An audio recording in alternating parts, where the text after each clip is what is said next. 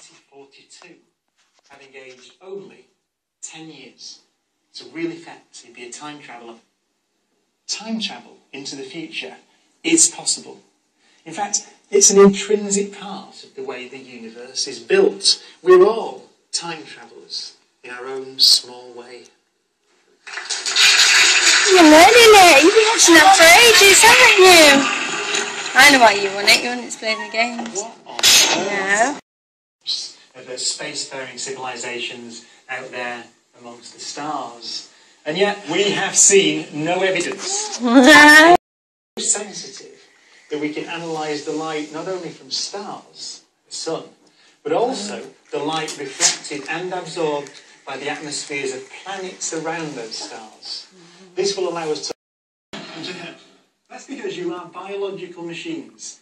Every machine, no matter how sophisticated or efficient, must do this. It must leave a telltale heat signature behind as it goes about its business.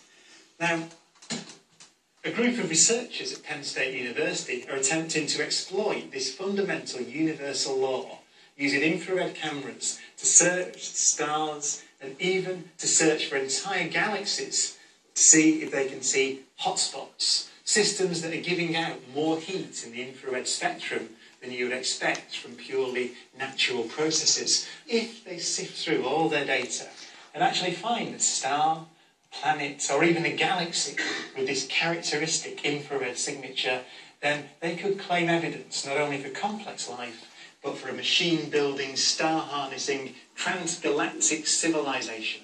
Doctor Who from afar. Far fetched, yeah, course it is. But the simple act of looking, of observing nature, is the key to science, and we shouldn't take anything for granted. And it's worth noting, finally, that we may already inadvertently have made contact.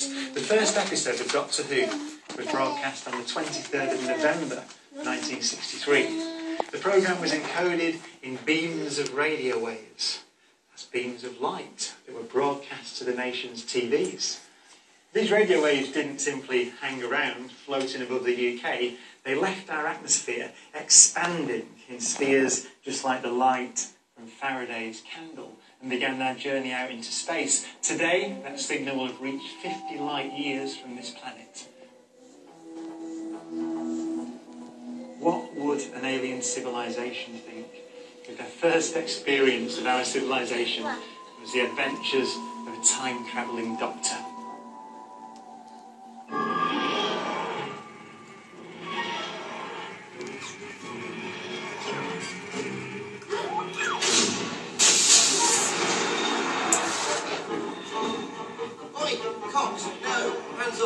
Complicated. Ish. Ish. Ha. Don't you ish me. Beyond human understanding, relative internal spatial coordinates are completely at odds with externally observed dimensions, so no.